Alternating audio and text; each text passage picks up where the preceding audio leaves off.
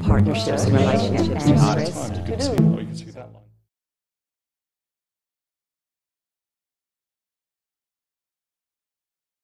I thought I might just start with my first etching, uh, which I did in 2000 and... Sorry, no, 1981. Sorry, a slip of the tongue. um, and, and it was during my second year at Alexander Mackie, uh, which was during my studies uh, going through a change to uh, City Art Institute.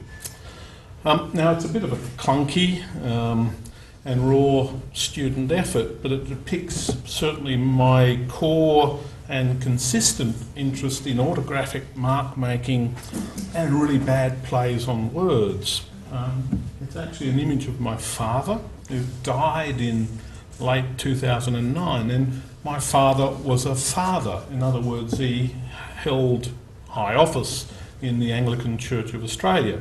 Um, and at his funeral, his friend, uh, uh, Bruce Wilson, who was the uh, Bishop of Bathurst at the time, spoke about how Dad valued the old fashioned term for appointing a priest to a parish, the induction into the cure of souls. So, the theme for tonight's talk is an opportunity for reflection. Even though I have no um, religious or, or spiritual inclinations, I was surprised at how my formative experiences have contributed to existential and social justice um, content in my art practice and a pastoral dimension in my teaching. As artists and educators, we're not in the business of curing souls. However, for me, it's a sort of a familiar territory, and we can and do make meaningful contributions in this field of human experience. I came to Sydney to study art, something that I didn't really know anything about, and I also came to pursue a predictably short career as an elite cricketer. Um, and I had many positive experiences in my first year of art school, along with one or two that were, were less edifying. I gravitated to um, uh, the print room at, at, a campus site in Cumberland Street in the Rocks because I liked the deliberate pace of etching as a medium.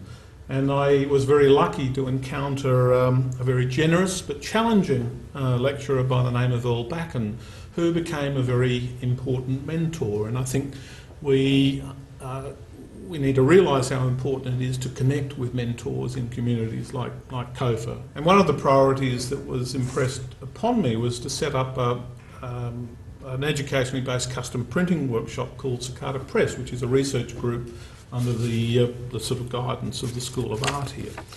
And uh, essentially what it does, it facilitates um, fine art print related practice with a whole range of um, and a diverse range of artists that we invite to come into the studio.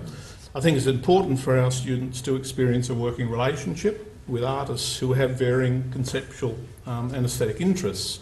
The differing procedural strategies employed in this collaborative uh, relationship um, is of, I think, crucial instructional benefit.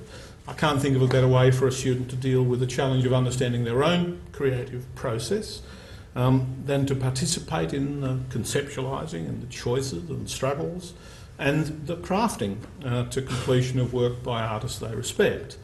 And as is often the case, um, I, I, think they learn more um, dealing with and responding to artists that they might not necessarily have a connection with. Some of the connections that we make and establish are through former students. Um, I had a student when I first came here, Kitikong Tilakwatanotai, who was a postgraduate student who has since gone back to his home city in Chiang Mai. And since that time, we've had regular exchange exhibitions, and he's set up and run an amazing print workshop in Chiang Mai.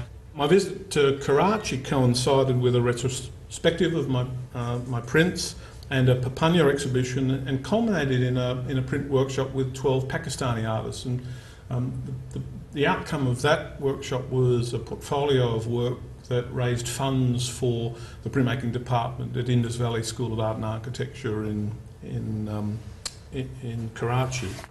closer to the ditch um, with New Zealand. Uh, I've been involved in um, uh, projects, in this case the Kermadec project, which is a, I don't know if you're aware, it's um, a, a region of underground volcanic, um, uh, volcanic ridges that spread from Tauranga all the way through to, to, um, to Tonga. Most recently, we've, we've just two weeks ago finished a two week residency um, with a range of Noongar and Kuri, Kuriatis. The, the outcomes for this residency uh, uh, are that we're, we're planning some exhibitions and projects in North America and Canada. The best lesson that I've learnt at COFA, amongst a host of enthralling experiences, is meeting Matt. Uh, along with the students fortunate enough to have enrolled in the custom printing class that supports the activities of Matthew. Together we saw Matt literally shaking with excitement at being given the chance to work uh, in the print studio.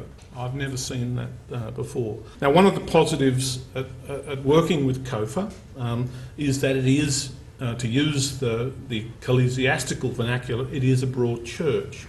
I have tremendous respect for the scope of intellectual and creative talent um, among the staff and the students here at this faculty. Um, now, while there's understandably often a single minded commitment to the development of an individual's artistic identity, I do like the fact that there are people here committed in their own modest way to instruction centred on altruism, community, and the value of lived experience in learning. Thank you.